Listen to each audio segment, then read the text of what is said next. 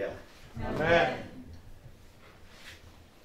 저는 언제나 여기 와서 말씀을 전할 때마다 느끼는 게 아, 뭐 일본에 와서 일본에 있었던 저희 교회에서 예배드리는 기분이라 어, 상당히 마음이 편안합니다. 아멘. 어, 아멘. 그래서 어, 특별히 어떤 부담을 갖지 않고 어, 제가 오늘도 어, 우리 김종환 목사님한테 전화를 받고 또 이 단에 네, 서게 됐습니다. 오늘 어, 비가 오기 때문에 어, 많이 오셨어요. 어, 한 명이 한 명이래 또 오시면 참 다행이겠다 이렇게 생각을 했는데 참 감사합니다. 어, 오늘 하나님께서 저에게 주어진 어, 말씀은 빌리포스 1장 20절에서 21절에 기록되어 있는 말씀을 가지고 어, 사명자의 삶은 도대체 어떻게 살아가는 것인가 예, 많은 자들이 예수 그리스도를 믿고 그 다음에 그 말씀대로 그렇게 순종하며 살아가기를 다 원합니다. 그런데 사실 뒤돌아보면 부끄럽고 창피한 삶이 더 많지요. 어, 며칠 전에 선배 목사님을 만나게 돼서 함께 점심 식사를 나누면서 어, 대 화를 나누는 가운데 그 목사님이 그런 얘기를 해요. 이 목사, 나 요새 잠을 못 잔다. 그래요. 그래서 깜짝 놀랐어요. 이제 팔순이 다 돼가시는 목사님이시니까 아, 뭐 어디 아프신가 걱정이 돼서 목사님 어디 아프세요? 그랬더니 아니 아픈 건 아니야. 그리고 멀쩡해. 왜 잠을 못 주무세요? 이런 얘기를 해요. 나 요새 자꾸 하나님의 나를 부르는지 데려가려고 그러는다. 요새 자꾸 자기 자신을 돌아보게 된대요. 나름대로 열심히 사역을 했는데 근데 요새 뒤돌아봐서 사역과의 현장을 체크하다 보니까 부끄럽고 창피하다. 야, 지금 하나님이 나를 부르시면 나 어떡하지? 그게 걱정이 돼가지고 잠을 못 자겠다는 거예요. 이게 지금 밥을 먹는 건지 잠을 자는 건지 그래서 지금 매일매일 삶을 그 목사님이 지금 뭐라 그러냐면 코람데오의 삶을 내가 지금 살고 있어. 여러분 코람데오라고 하는 뜻이 뭐 잘 아시죠? 하나님 앞에서 하나님 앞에서 일을 하티는데 이 코람이라고 하는 말의 의미는 앞에서 데오가 하나님인데 하나님 앞에서 하나님 면전 앞에서 라고 하는 의미예요. 오늘 예수 믿는 사람들의 삶이 바로 코람데오의 삶을 살아야 되지 않겠는가 하는 생각을 가지고 봅니다. 그 목사님이 그런 말씀을 할때 아, 젊은 저는 아유 얼마나 부끄럽고 더 창피 하겠습니까? 이제 그거는 이제 인생이 이제 말 그대로 뭐 이제 팔순을 향해서 가시는 목사님인데 지금도 지금도 그분은 하루하루를 내가 이렇게 살아서는 안 되겠다. 그래서 계속 자기 자신을 내려놓는 그런 시간들을 가지고 또 다시 한번 자기의 사역을 체크해 가면서 정말 제가 하나님 앞에 에, 잘못한 거 있으면 하나님 용서해 주세요. 그리고 하나님이 나를 부를 시간이 얼마나 남아 있는지는 모르겠지만 하나님 그 남은 시간 정말 부끄럽지 않게 최선을 다해서 하나님 앞에 서겠습니다. 사실 여러분 코란데오라고 하는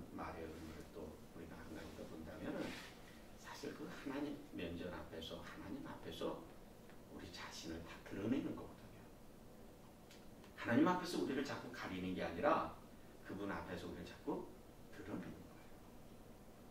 나의 연약함과 나약함과 부족함과 죄됨과 정말 하나님 앞에서 다 벌게 벗고 내 몸땡이로 그렇게 하나님 앞에 쓰는 거거든요. 사실 그 목사님을 만나서 그 얘기를 듣기 전에 저는 이 어, 어, 목회를 지금 하면서 늘 하나님 앞에 생각을 가져가요. 어, 하루하루를 정말 하나님 앞에서 내가 어떻게 살아가야 될 것인가. 사실 그렇게 아침에 새벽에 눈 떠서 기도하면서도 우리가 또 하루를 마무리하는 그 시점에서 또 기도를 정리하다 보면 눈으로 보고 죄를 짓고 또 들어서는 안 될 걸 들어서 또 죄를 짓고 또 말을 해서는 안 될 말을 함으로 인해서 또 죄를 짓고 또 마음에 이게 가다두면서는 안 되는데 저 누가 나를 또 미워하고 나를 또 속상하게 하면 이 마음이 탐켜지잖아요. 그래서 그것 때문에 또 미워하게 되고 이런 죄를 또 짓게 되잖아요. 오늘 여러분 저는 이 말씀을 준비하면서 성경에서 많은 그런 그 어, 말씀에 에, 통해서 이야기를 할 수 있겠지만은 아, 적어도 고난 가운데서 행복을 주고 그 극한 고난 속에서도 기뻐하며 그렇게 또 예배하며 하나님 앞에 영광을 돌리는 행복한 자들을 한번 어, 추려봤어요. 그 중에서 여러분 정말 그 고난 가운데서 행복하고 기뻐하고 즐거워할 수 있다고 한다면 대단한 거 아닙니까? 보편적으로 우리가 생각하는 것은 어떤 환란이 오고 고통이 오면은 그거로 인하여 좌절하고 절망하고 낙심하고 그러잖아요. 그리고 나를 이렇게 만든 그 장본인들을 향해서 우리는 비호하고 시기하고 질투할 수밖에 없거든요. 그리고 지금의 내 환경을 바라보면서 하나님을 향하여 원망하고 불평만 할 수 있는 게 사실 우리가 보편적인 그런 그 사람들이 갖고 있는 생각이고 마음이거든요. 저도 마찬가지예요. 어. 그런데 오늘 이 성경에 참 대단한 사람들을 어, 만나볼 수가 있어요. 그런 분들을 어, 제가 한번 말씀을 드리면서 오늘 이 시간 우리가 어떻게 하면 사명자의 인생으로서 사명자의 삶을 살아가며 그렇게 하나님을 좀 기쁘게 해드릴 수 있을까 이런 걸 한번 점검하는 그런 시간을 좀 가져봤으면 좋겠습니다. 어, 우리가 성경에 보면은 아담 계보 족보에 관한 이야기가 나오죠. 아담의 후손 가운데 10대 손에 해당되는 사람이 누구냐면 이제 그 노아입니다. 노아.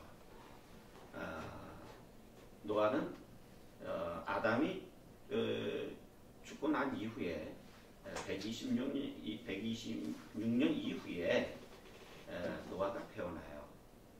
그럼 그 9대째 후손이 누구냐면은 라멕이에요. 이 라멕은 성경에 보면 이제 777세를 살았다고 해요. 그런데 아담하고 라멕이 같은 시대에 살았다는 거예요. 그것도 아담하고 라멕이 몇 년을 같이 살았냐면 56년을 같이 살았어요. 그러니까 여러분 한번 생각해 보세요. 그럼 우리가 여기서 생각해 볼 게 뭐냐면 아담은 도대체 어떤 사명을 가지고 근 900년 넘게 그렇게 살았을까? 아마 모르긴 몰라도요. 아담은 죄를 짓기 전의 세계와 죄를 짓고 난 이후의 세상에 대해서 너무너무 잘 알고 있는 사람 중에 한 사람 아닙니까? 또 자기가 장본인이기도 하고요. 그러니까 아마 하늘나라 갈 때까지 죽기까지 아담은 그 후손들에게 자기가 에덴 동산에서 죄 없이 죄가 들어오기 전의 세상에 대해서 후손들에게 진짜 침을 턱하며 그때 그, 그 정말로 하나님과 함께 했었던 그 기쁨, 그 즐거움, 그 행복함에 대해서 이야기를 했을 거예요. 그러나 반면에 아담은 자신의 죄로 인하여 하나님의 말씀에 불순종하여 세상에 죄가 들어온 그 장본인이라고 하는 이 부분에 대해서 그때 그 세계와 지금 죄를 짓고 난 이후에 지금의 이 세상에 대한 부분을 아마 후손들에게 생명을 다하여 너희들만큼은 나와 같은 실수하는 인생 살지 말아라.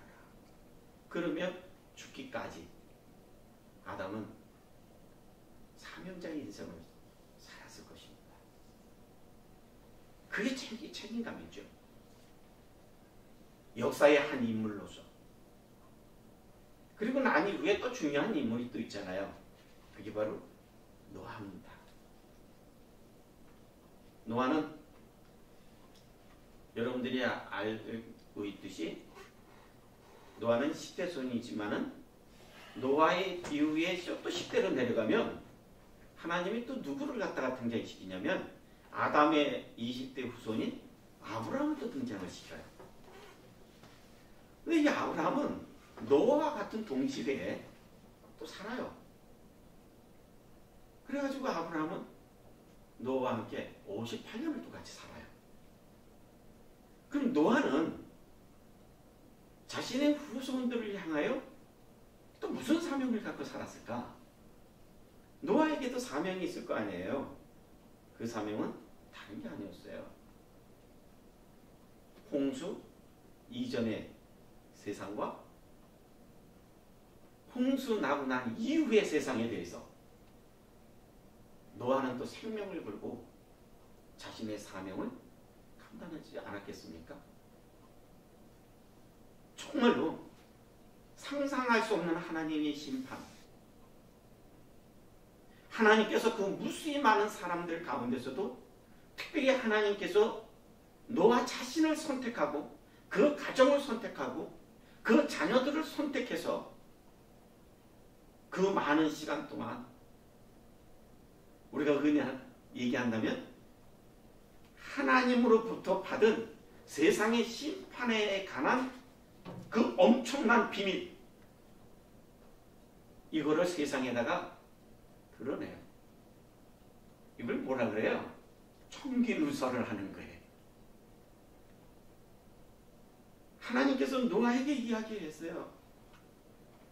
내가 이 세상을 다 물로 다 심판합니다. 그러면서 하나님이 노아에게 얘기하고 노아에게 방주를 지라고 하는 명령을 내렸어요. 근데 이걸 오픈을 해요.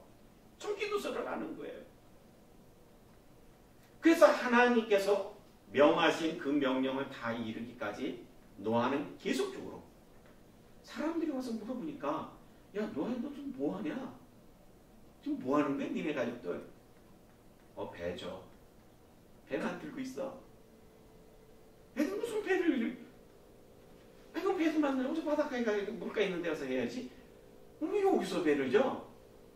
배를 만든다는 것 자체가 함께하는 그 주변에 있는 사람들에게는 말이 안 되는 거죠. 그럼에도 불구하고 사명을 부여받은 노아는요 말이 되는 거예요. 그래서 여러분 하늘의 비밀을 아는 저와 여러분들 하나님으로부터 이미 하늘의 비밀을 우리에게 부여받았잖아요. 하나님으로부터 받았거든요. 그럼 받은 우리들의 인생은 다 사명자의 삶을 살아가는 거거든요. 그 사명자의 인생을 살아가는 저와 여러분들은 뭐 해야 돼요? 이 세상에다가 하나님이 우리에게 허락한 천국의 비밀을 누설하는 천기 누설을 하는 그런 사명을 부여받은 존재들이거든요. 그럼 입 다물고 있으면 안 되잖아요. 그게 전도잖아요. 교회 사명이 뭐예요? 누설하는 거예요. 예수 믿는 믿음의 사람들의 사명이 뭐예요? 청기누설하는 거예요. 하나님으로부터 받은 그 엄청난 천국의 비밀을 비밀이 되어 묶여 있는 하나님을 모르는 그 백성들을 향하여 오픈시키는 거예요. 하나님을 믿는 자에게는 비밀이 아니지만은 하나님을 모르는 자들에게는 비밀이거든요. 그러니까 우리는 아는 걸 그걸 오픈해야 돼요. 그래서 교회는 떠들어야 되는 거예요. 세상을 향하여 살아계신 예수 그리스도 그분에 대해서 떠들고 다녀야 되는 거예요. 매일 선포해야 되는 거예요. 예수 믿는 사람들이 가는 곳마다 뭐 해야 돼요? 청기누설 해야 돼요. 하늘에 대한 비밀을 이야기해야 돼요. 근데 그거 안 하면 어떻게 돼요? 직무유기죠. 네? 근데 사실 미국은 그래도 아직 좀 덜하지만 한국 같은 경우 정말 저 목사입니다 얘기하기 창피하잖아요. 저 교회 나가는 사람입니다. 예수 믿는 사람입니다. 당당하게 얘기하기 참 힘든 그런 모습으로 지금 한국의 기독교가 그렇게 됐어요.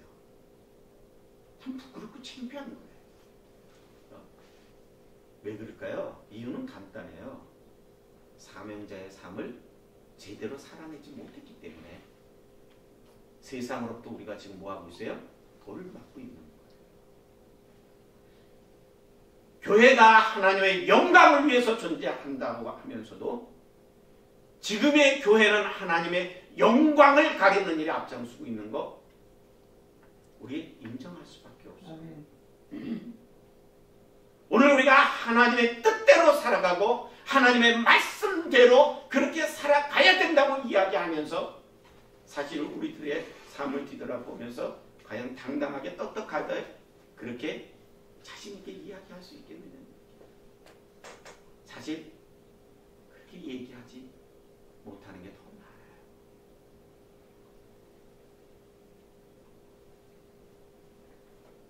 오늘 여러분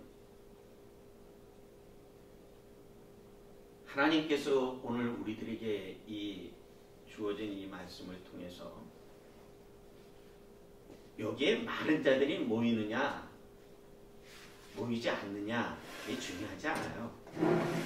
중요하지 않아요.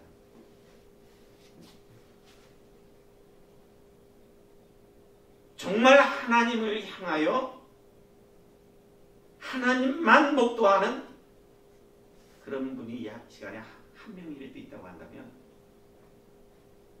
지금이라도 내가 하나님을 위해서 그렇게 살아가겠노라고 사명자의 인생을 살아가겠노라고 다시 한번 결단하고 결심하는 사람이 오늘 이 시간 단 한 명이라도 있다고 한다면 오늘 이 예배는 최고의 예배가 되는 거예요. 아멘. 할렐루야. 아멘. 오직 답답했으면 하나님께서 하나님이 세운 하나님께서 창조한 창조물들을 내가 창조한 이 창조물에 대해서 하나님 스스로가 내가 후회한다. 얼마나 안타깝고 속상하고 괴로우셨으면 그런 표현을 했겠어요. 창세기 6장에 보면은 그 내용이 나오잖아요. 창세기 6장 5절에서 7절의 말씀에 보면은 하나님께서 하나님의 괴로운 심정을 보다 다 있어요. 그런 가운데 하나님께서 한 명을 딱 뽑았는데 그 괴로운 표정 그 뒷면에 창세기 6장 8절에 보면 하나님께서 그러나 노아는 이런 말씀에 은혜를 입었더라. 그러니까 노아와 노아의 가족들을 죄내고는 그 일곱 명 노아까지 여덟 명 그 식구들을 죄내고 나머지 모든 자들은 다 뭐예요? 노아가 그 많은 시간 동안 청지누설을 하며 하나님께서 세상을 물로 심판하겠다고 하는 이 말을 아마 피를 토해내며 이야기를 했을 거예요. 그럼에도 불구하고 많은 자들이 귀를 열지 않았어요. 마음을 열지 않았어요. 그 말씀을 귀담아 듣지를 않았어요. 미쳤어. 노아가 지금 무슨 소리를 하고 있는 거야? 지금 노아 네가 하는 것조차까지도 이해가 안 되는데 네가 하는 게 지금 미친 짓인데 미친 너의 소리를 우리가 지금 들으라는 얘기냐? 그럼 믿으라는 얘기냐?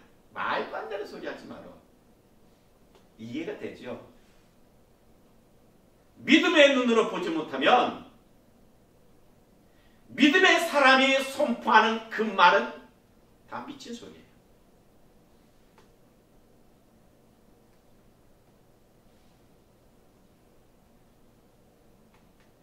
신령한 것은요. 신령한 마음을 품고 있는 자에게 그게 들리는 거예요. 아무에게나 들리는 게 아니에요.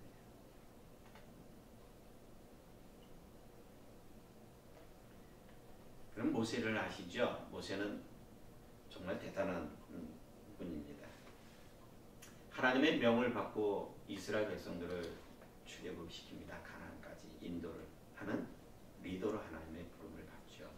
그런데 여러분 모세가 하나님의 명을 받고 이스라엘 백성들을 끌고 강야 40년의 출애굽 여정을 해나가는데 평탄했습니까? 막 평탄한 것보다도요. 말씀을 읽다 보면 계속 모세는 이스라엘 백성들의 불평, 불만, 원망하는 소리에 오늘 죽을까, 지금 죽을까, 내일 죽을까는 죽음이라고 하는 그런 부분 속에 놓여 있었어요. 그 보면 있잖아요. 모세를 향하여 원망하고 거의 막 그냥 거의 죽이, 죽이려고 하는 그런 내용이 많거든요. 그럴 때마다 모세가 한 게 뭐예요? 하나님 앞에 엎어져. 하나님 앞에 엎어져. 하나님 앞에 기도하는 거예요. 하나님의 음성을 듣는 거예요. 상황을 보고 환경을 보고 조건을 보고 배경을 보고 지금의 군중의 무리들의 그, 그 소리를 듣지 않냐고 하나님 앞에 엎어져 하나님 앞에 거예요. 하나님 어떻게 지금의 이 상황을 어떻게 해야 돼요? 하나님 저는 할수 없습니다. 하나님이 도와주십시오.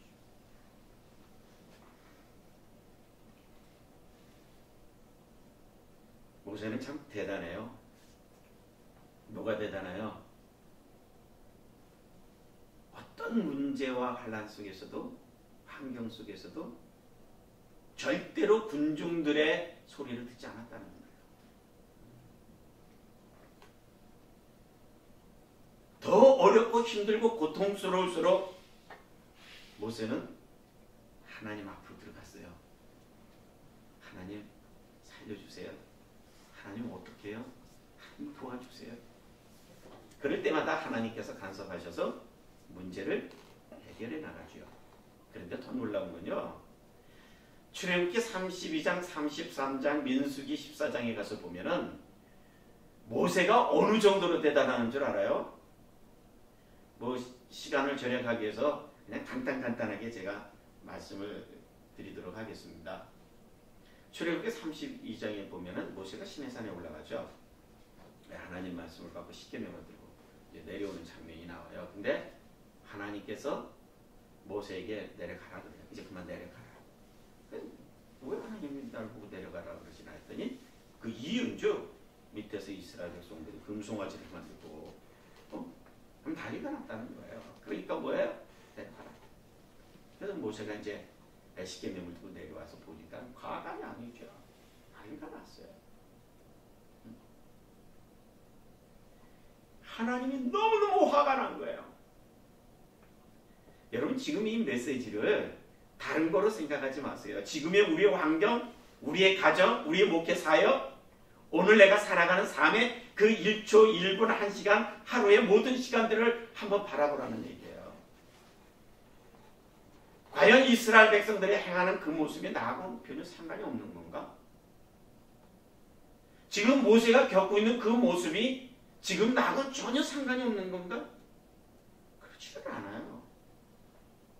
사실 어떻게 보면 지금도 우리의 삶 속에 우리의 목회 현장에 동일하게 광야의 여정이 여정 속에 일어난 사건이 주어지고 있다는 거예요. 야 하나님 너무 화가 나가지고 모세야 내가 저들을 다 죽여버리고 그리고 내가 너를 통해서 다시 나라를 일으킵니다. 여러분이 이 말에 대해서 어떻게 생각을 해요?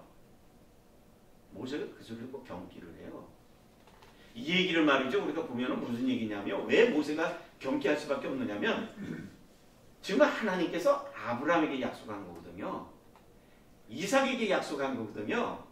야곱에게 약속한 거거든요. 그 약속을 파괴하겠다는 얘기예요. 그리고 다시 모세 너를 통하여 나라를 다시 세우겠다는 그럼 지금 그 백성들 다 죽여버리고 다 죽여버리고 모세 너를 통해서 다시 나라를 세우겠다는 거예요. 하나님의 계획하시는 다시 너를 통해서 다시 시작하겠다는 거예요. 그건 안 되잖아요. 모세가 그때 정신이 바짝 들은 거예요. 하나님 좀, 하나님 좀 무슨 소리 하시는 겁니까? 하나님은 말도 안 되는 소리 하지 마십시오. 하나님은 약속의 하나님이십니다. 약속의 하나님께서 그 약속을 파괴한다 그러면 세상에 누가 하나님을 인정하겠습니까? 그 말도 안 되는 소리 하지 말라는 거예요, 모세는.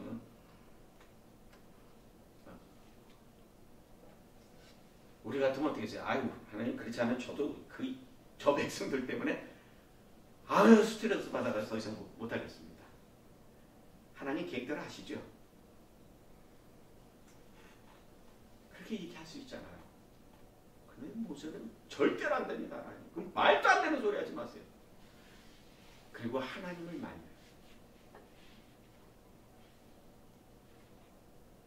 근데 33장에 나서 보면요. 하나님께서 아이 또 화가 더 끌려가지고 모세에게 얘기합니다. 야 모세야 나 가나안 땅에 너희들과 함께 않겠다.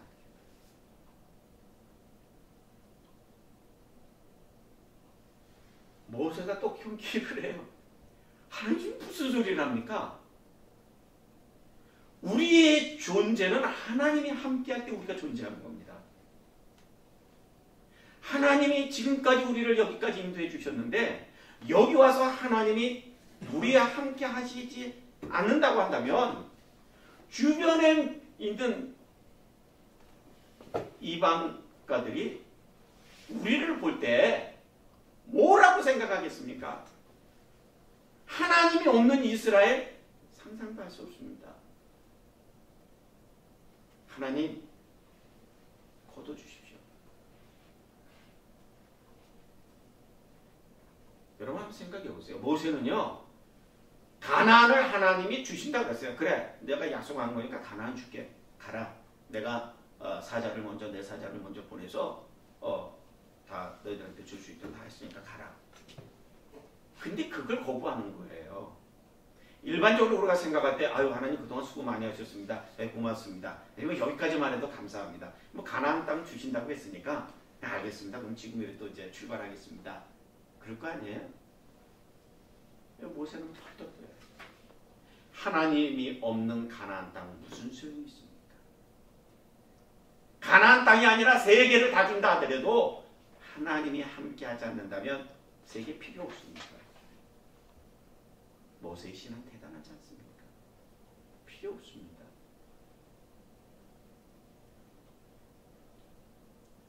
그게 사명자의 돼요. 저와 여러분들이 이 땅에 살아가면서 날마다 하나님 앞에 고백되어질 부분들이 뭐냐면 하나님이 내 인생 가운데 함께 하지 않는 인생이 그건 이미 죽은 거죠. 하나님 그런 인생 원하지 않습니다. 비록 못나고 부족하고 연약하고 나약하고 병든 놈이라 할지라도 이 땅에서 정말 만약에 천하고 천하고 천한 모습의 인생을 살아간다 할지라도 아니면 이 땅에서 대걸 같은 그러한 집을 지니고 폼 잡으며 살아가는 인생이라 할지라도 하나님이 나와 함께 하시지 않는다면 나 천하만국 필요 없습니다.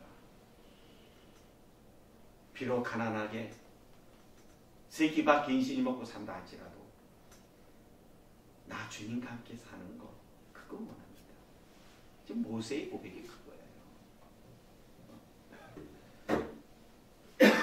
하나님과 함께하는 삶. 오늘 여러분 어때요? 주신다는 것만 주십시오 하나님. 그게 지금 사실 오늘 우리의 기도 아닙니까? 기도의 전부. 어? 저희 교회 성도들도 기도하는 그 내용을 들어보면 하나님의 나라와 의를 위하여가 아니라 거의 기도 내용이 내 남편 비즈니스 잘 되게 해주세요. 내 자녀들 대학 좋은 대 학교 가게 해주세요. 어? 건강 축복 주세요.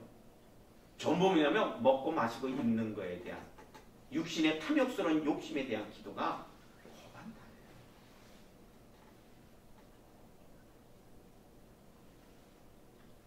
그런 자의 입가에서 노아 같은 사명이 있겠습니까? 모세와 같은 그런 사명이 있겠습니까? 오직 있으면은 이스라엘 백성들의 죄를 하나님께서 용서해 주지 않는다면 하나님 제 이름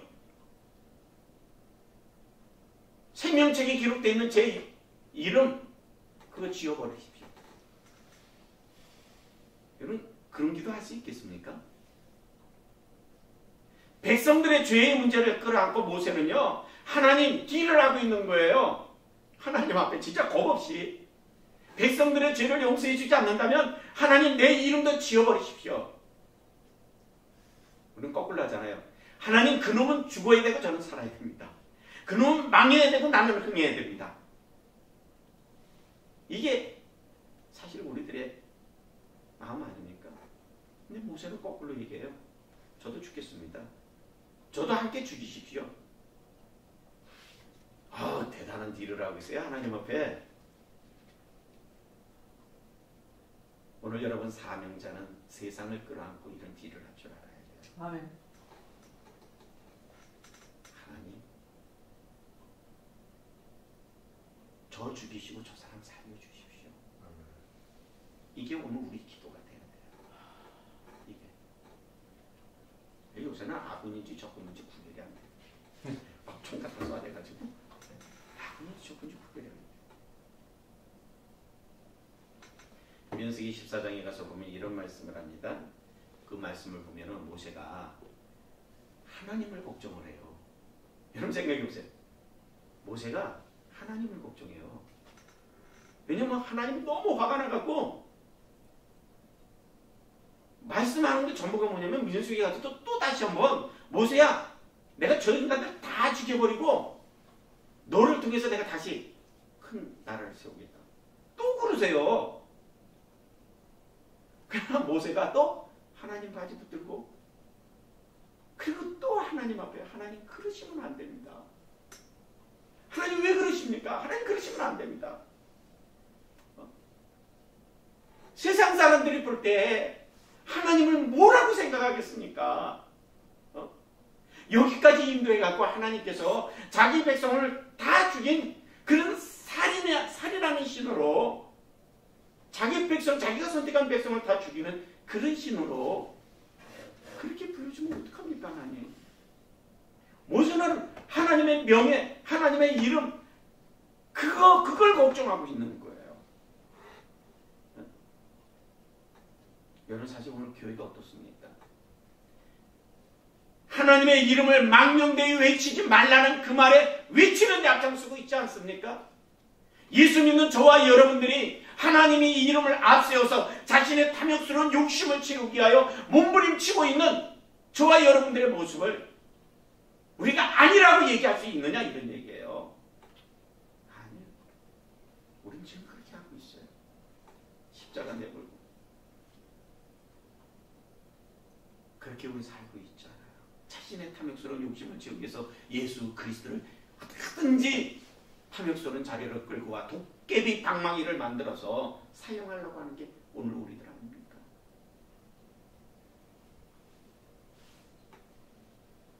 여러분 저와 여러분들이 우리나라를 생각하면서 답답하죠. 정말 우리 대한민국 걱정입니다. 여러분 기도하는 거 잊어서는 안 됩니다. 근데 우리가 한번 생각해 볼 필요가 있어요. 민주주의가 됐다고 해서 나라가 잘 됩니까? 또 우리가 그냥 알고 있듯이 남북이 통일되기를 얼마나 기도합니까? 남북이 통일되면 잘 살까요? 대통령이 탄핵됐습니다. 대통령이 탄핵이 되고 새로운 대통령이 뽑히면 우리나라가 경제적으로 정치적으로 괜찮아질까요? 아니요. 오늘 예수 믿는 사람들 잘 생각해야 돼요. 우리 민족이 잘 되고 잘 살기는요. 복음 외에는 방법이 없어요. 하나님의 은혜 속에 있지 않으면 우리나라 대한민국 38국선 언제 무너질 줄 몰라요. 지금까지 하나님이 붙들어 주신 은혜가 있기 때문에 지금까지 존재하는 거예요. 어? 많은 자들이 대한민국에 정말 말 그대로요. 구국, 기도 그런 단체가 얼마나 많이 있었는지 모릅니다. 그래서 산속마다 교회마다 나라와 민족을 위해서 기도하고 정말 그럴 때에 대한민국이 지금 21세기의 경제 10위권 안으로 들어가는 축복받은 나라가 된 거 아니에요. 어? 근데 지금 어떻게 됐어요? 그 에너지를 다 소진하고 있어요. 기도가 줄어들었어요.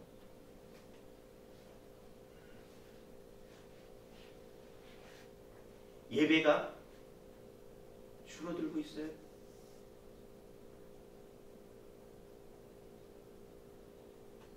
여러분 한번 생각해보세요. 여러분 각자 여러분의 신앙의 지금 현 주소를 한번 보라는 얘기예요. 내가 하루 24시간 주어진 시간 가운데 하나님 앞에 나는 얼마나 무릎 꿇고 기도하고 있는가. 하나님의 음성을 듣고야 골방에 찾아 들어가는 시간이 얼마큼 있는가. 그리고 말씀을 읽으며 그 말씀대로 내가 얼마만큼 몸부림치며 그렇게 사명자의 인생을 살기 위해서 몸부림치고 있느냐 이런 얘기예요.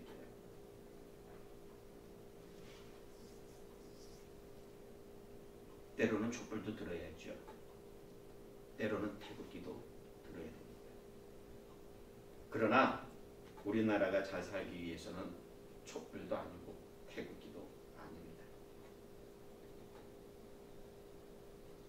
미국에서 들고 간 사드도 아니고요. 미국도 아니고요. 핵도 아닙니다. 우리가 살 길은 복음의 깃발을 들어야 돼요. 복음의 깃발. 철저하게 그분을 의지하고 말씀으로 돌아가서 하나님 살려주십시오.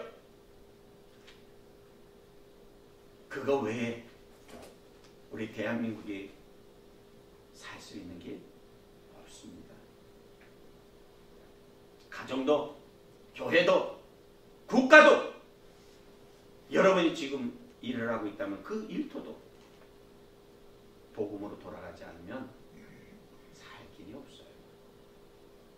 산다 하더라도 그게 사는 게 아니에요. 이 말씀의 정리를 하려고 합니다. 오늘 여러분이 읽은 본문 말씀으로 결론을 정리를 하려고 합니다. 오늘 본 말씀의 기준이 뭡니까? 다윗 사도는 그리스도를 자신의 명예나 생명보다도 더 중요시하라고 우리에게 가르쳐 주고 있어요. 사도 바울이 감옥에서 기뻐할 수 있었던 이유도 바로 여기에 있는 것입니다. 자기 명예보다도 그리스도가 전파되는 것이 더 중요하고 자기의 죽고 사는 문제보다도 그리스도가 존귀케 되는 것이 더 중요하다라고 하는 태도를 그가 수호하고 있었기 때문에 어떠한 고난과 한란과 고통이 와도 그는 그 속에서 기뻐할 수가 있었고 감사할 수가 있었고 예배할 수가 있었습니다. 바로 그런 삶을 살아가는 자들이 사명자의 삶이 아닐까요? 오늘 우리가 살아내야 돼야 내야 될 그런 삶도 바로 지금 사도 바울이 오늘 우리들에게 주어지는 이 본문 말씀에 대한 이야기가 아닐까요?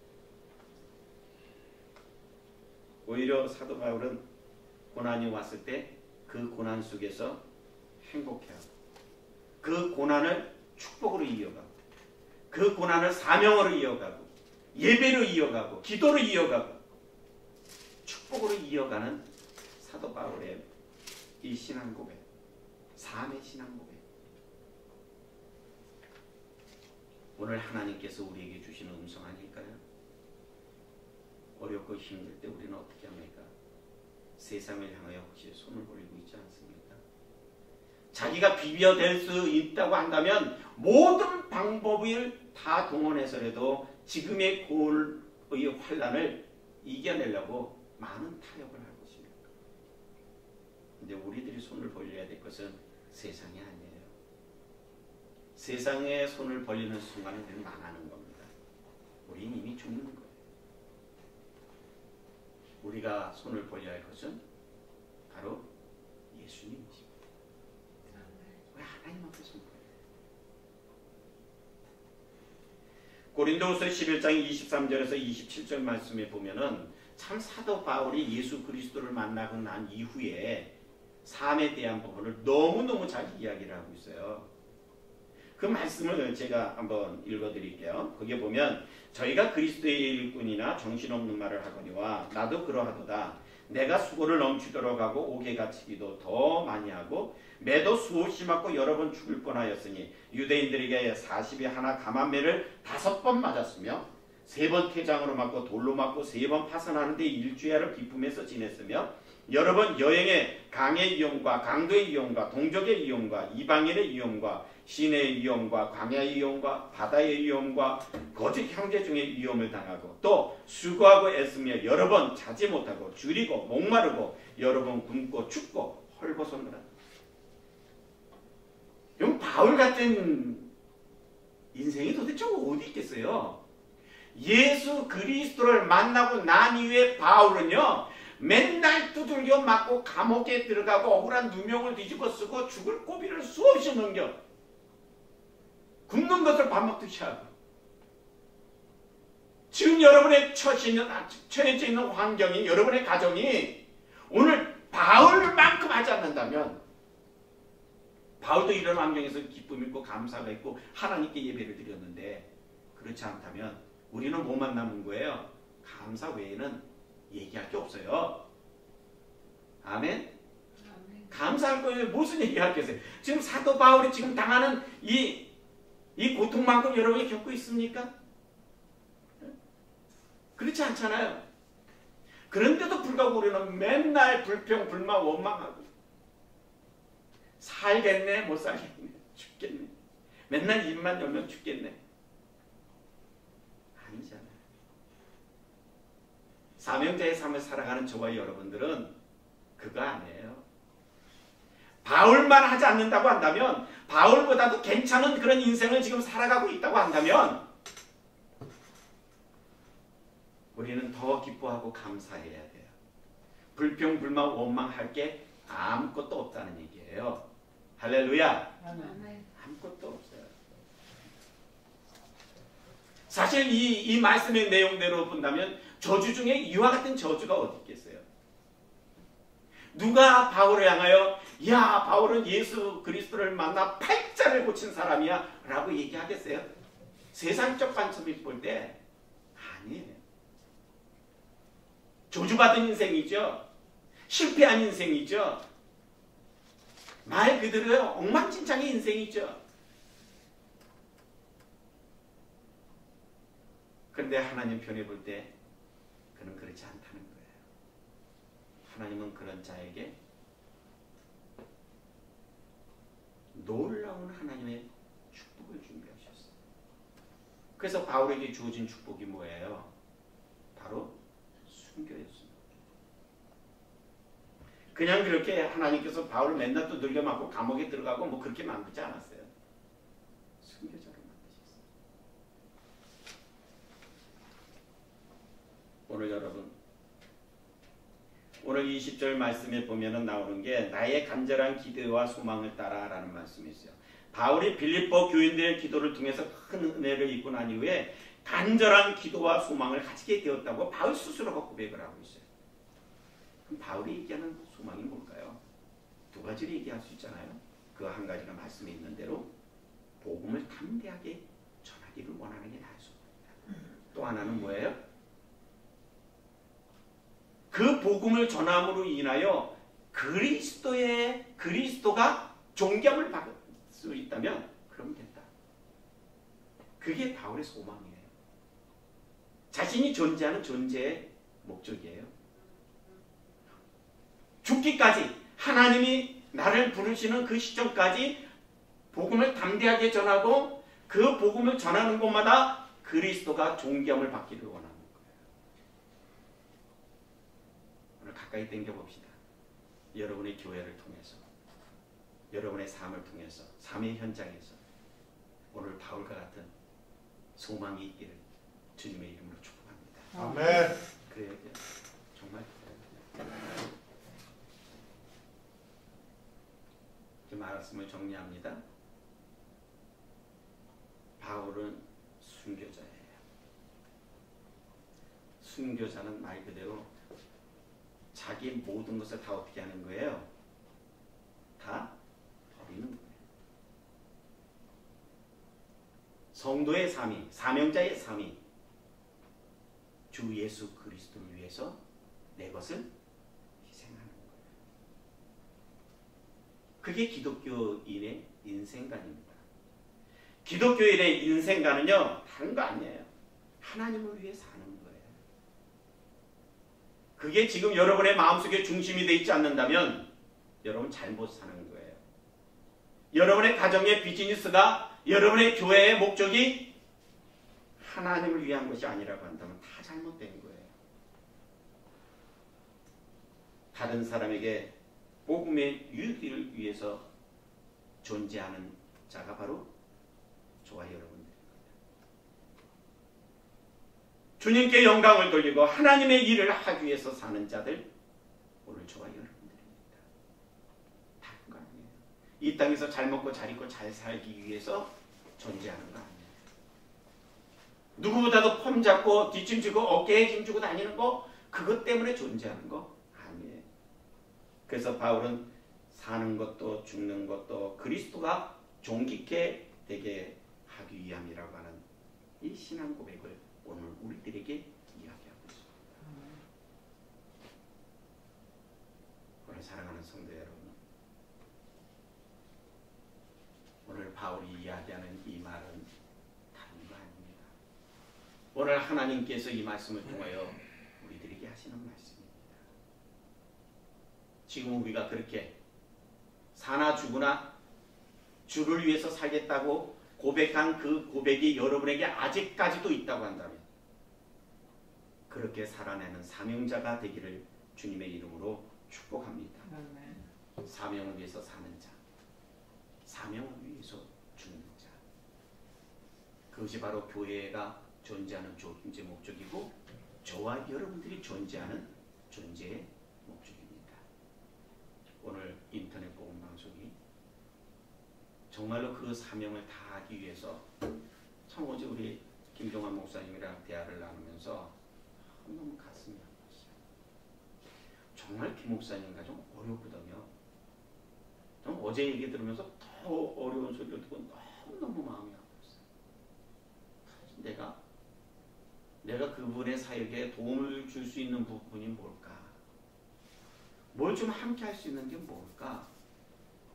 그렇게 해주지 못한 게 너무너무 안타깝고 너무너무 속이 상하는 거예요. 어제 대화를 나누고 어, 집으로 돌아가면 서 또 오늘 계속 오면서 기도를 하면서 하나님 제가 이 방송국 사역을 위해 무엇을 좀 함께 할 수 있을까요?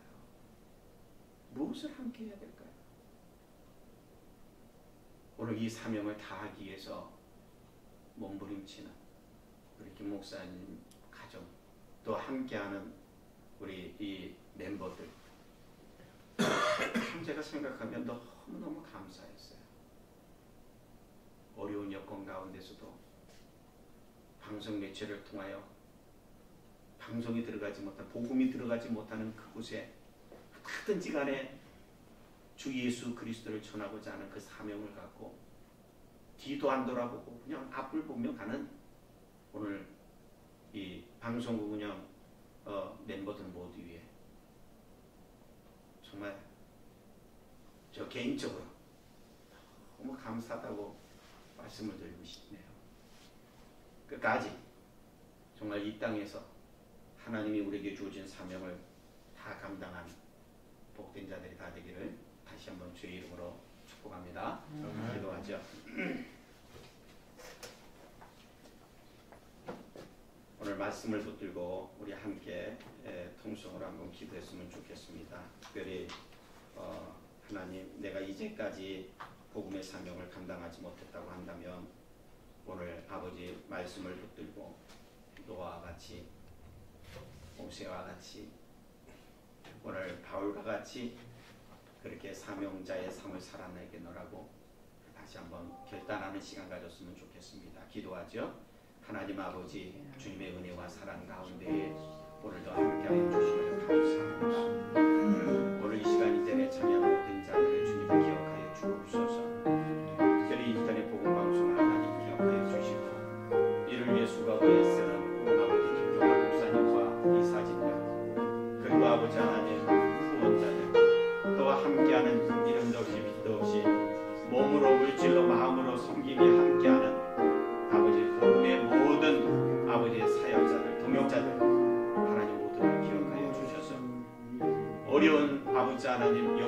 가운데서도 이것이 하나님이 내게 주어진 사명이라고 그렇게 아버지 하나님 생각하고 아버지 오직 앞만 바라보는 아버지 김 목사님과 그 가정 그리고 함께하는 모든 멤버들 하나님께서 함께하여 주셔서 물질로도 어려움을 당하지 않게 하시고 아버지 더욱더 영육간에 강건한 은혜를 주시고 또 아버지 하나님 좋은 아버지 하나님 멤버들도 많이 붙여주셔서 세계를 향하여 복음의 사명을 감당할 수 있도록 하나님 축복하시고 역사하여 주옵소서 아버지 하나님 그 사명을 감당하겠노라고 하나님 앞에 부르시고 간구하는 그런 삶을 살아가는 자들이 바로 노아가 아니겠습니까?